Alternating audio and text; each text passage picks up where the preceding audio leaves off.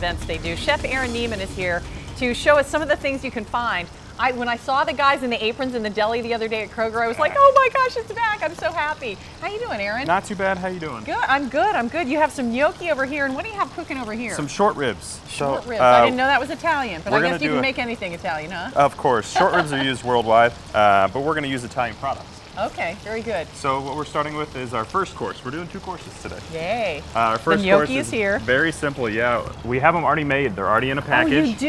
Okay, Um, great. And then we have our hemispheres, which is our most recent uh, brand that we have for just for the Taste of Italy. We have these products. Okay. Um, How many so, how many different products does Kroger bring in for Taste of Italy? Do you know? uh, you know, I'm not quite sure. I saw them bringing in like huge pallets of Italian foods the other day when I was there. Yes, yes, you so are. it's a lot of stuff. Oh, it is a ton of stuff. Okay. And it's a lot of good products. So they they go out and they research these items. They go to Italy, right? Yeah, they get to go to Italy.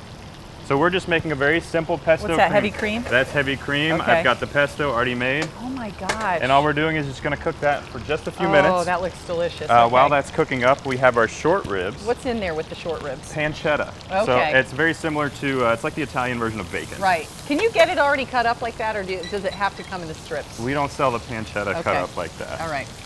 So in there we have our celery, carrots, onions. Uh, we're gonna let that cook down, but in the spirit of so television, we're gonna speed it up a little okay. bit. Okay, a little bit of red wine. A little bit of red wine. Okay. And what the red wine is essentially gonna do is that's gonna deglaze your pan. Ah, nice. Now, And, how long is that going to cook like that, Aaron? uh, about six to eight minutes. Okay. So while So that's that long. deglazing, we're gonna come back and this should be ready to go. Ooh. So that's how fast this is. Yum. Now, tell me about some of the other Italian things that we can find at Kroger right now.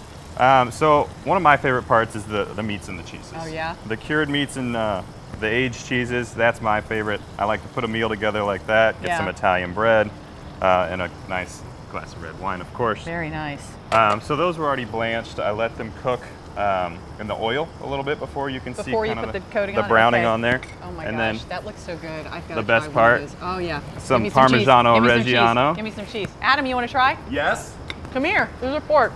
So Mm. the uh, the short ribs, it's quite a, a lengthy recipe, but Is it's it? stuff that you have around.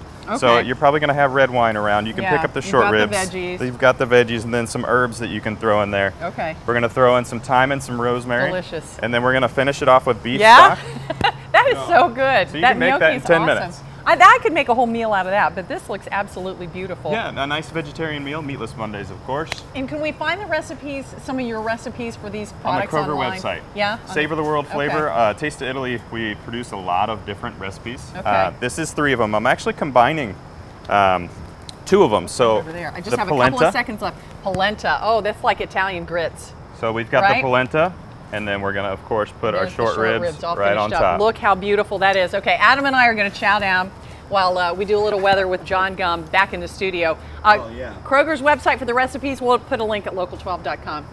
Oh! Aaron, thank you so much. You're welcome. John? Why did